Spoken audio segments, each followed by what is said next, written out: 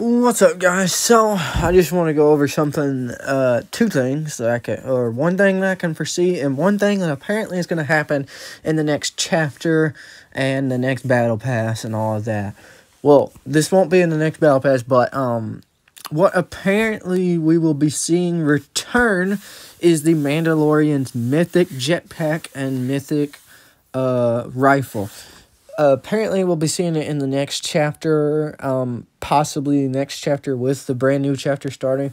We will i do not think we will see it instantly. I think the first things we'll be seeing is uh christmas stuff for the next chapter considering it will be december when it starts.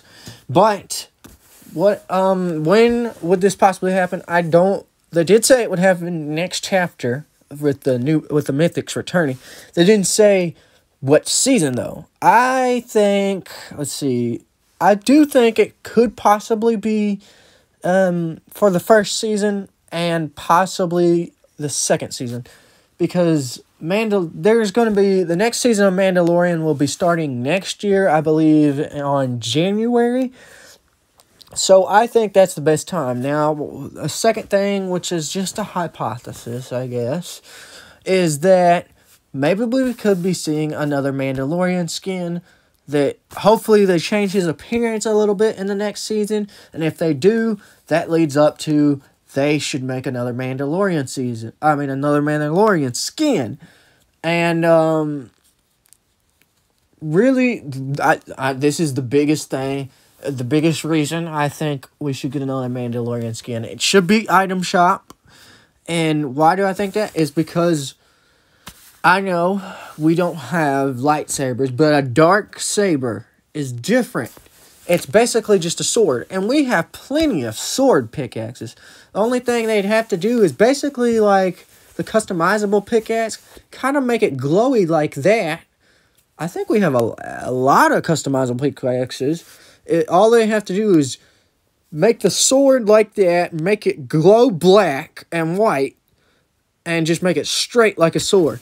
That's all they have to do for the dark saber as a pickaxe.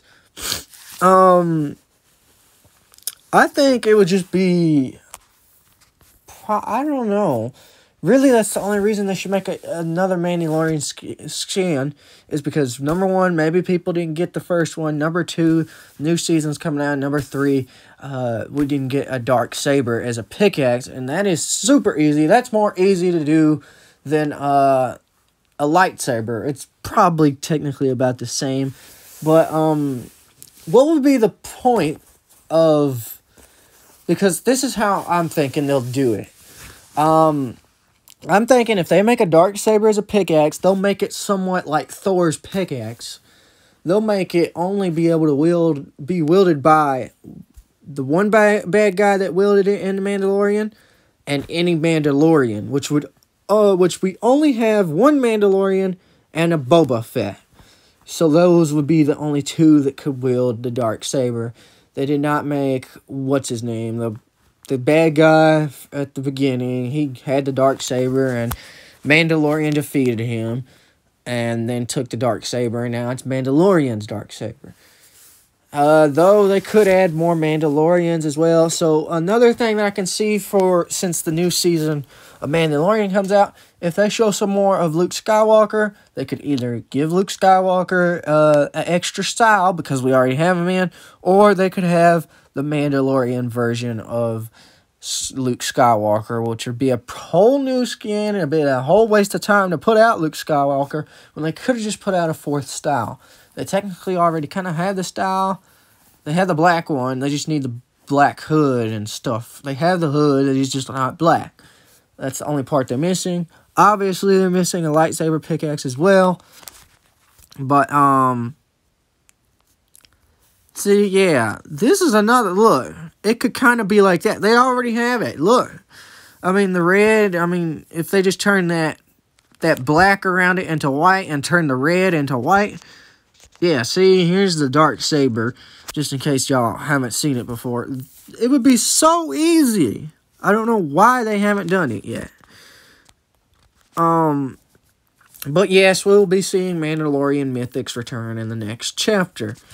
Could we see um, bounties again like that? Yeah, we could possibly see it like that again. Um, we could also see possibly see the lightsabers return.